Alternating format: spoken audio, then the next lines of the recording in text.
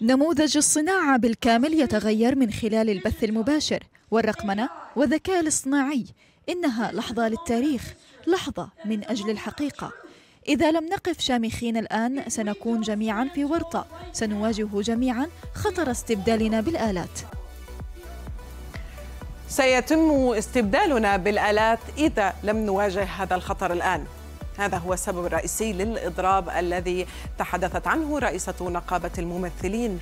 يطالب الممثلون والكتاب بزيادة أجورهم التي تأثرت كثيرا بعد ظهور المنصات الرقمية مثل نتفليكس. وظهروا أمام لوحاتها الإعلانية لكن الأهم هو مطالبتهم بضمانات ترتبط بعدم استخدام الذكاء الاصطناعي والوجوه والأصوات التي يتم إنشاؤها بواسطة الكمبيوتر لتحل محل محل الممثلين الصناعة في خطر. في منتصف يوليو الماضي أعلن منتجو هوليوود عن اقتراح رائد للذكاء الاصطناعي يتضمن استخدام النسخ المتماثلة الرقمية أو التعديلات الرقمية للأداء. أمر مرفوض بالطبع. من الكتاب والممثلين فتحولت الاستوديوهات الكبرى لاقتراح آخر لحماية الشكل الرقمي للممثلين. النقابة رفضت أيضا وطالبت عمالقة البث بالموافقة على تقسيم أكثر عدلا للأرباح وظروف عمل أفضل. الأمر سيؤثر على كبار الفنانين. الجميع في خطر. والدليل؟ ما حدث في تايم سكوير. لدي رسالة للسيد آيجر. أعلم يا سيدي أنك تنظر للأشياء بعدسات مختلفة. لا نتوقع منك أن تدرك من نحن. لكننا نسألك أن تستمع إلينا. نسألك أن تصغي إلينا. عندما نخبرك بأننا لن نسمح أن تأخذ منا وظائفنا وتمنحها للروبوتات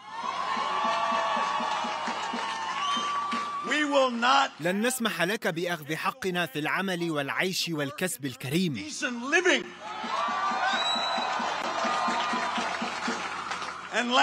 وأخيرا وهو الأهم لن نسمح لك بأخذ كرامتنا منا It's right. It's kind of discouraging. I mean, I know they have to do it. It's better if it all shuts down because then things will move quicker and they'll get solved quicker. But it's sad to see people out of work. I don't want to see people out of work. I want to talk about the Emmys. Uh, did you hear about the Emmys being postponed, and what do you think of this?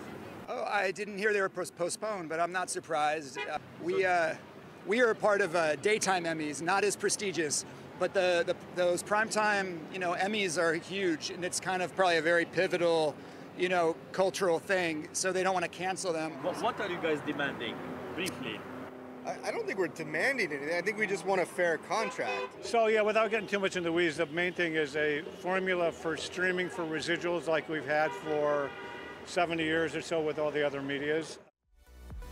ليس في تايم سكوير فقط حيث احتشد عدد كبير من الكتاب والفنانين لإعلان تضامنهم مع الإضراب لكن في لندن أيضا أوبنهايمر الفيلم الذي أثار ضجة واسعة أخيرا طاقم العمل كله كان موجودا في ميدان ليستر في الثالث عشر من يوليو الماضي بما في ذلك كيليان ميرفي وإيميلي بلانت ومات ديمون كانوا يحضرون العرض الأول للفيلم لكن في نفس الوقت تم إعلان إضراب هوليوود في مؤتمر صحفي.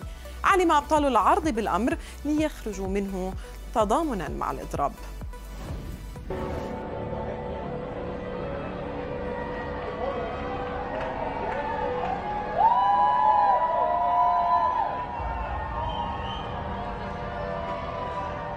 لمتابعة المزيد من الأخبار والبرامج والقصص الإنسانية والوثائقيات والتقارير الإخبارية.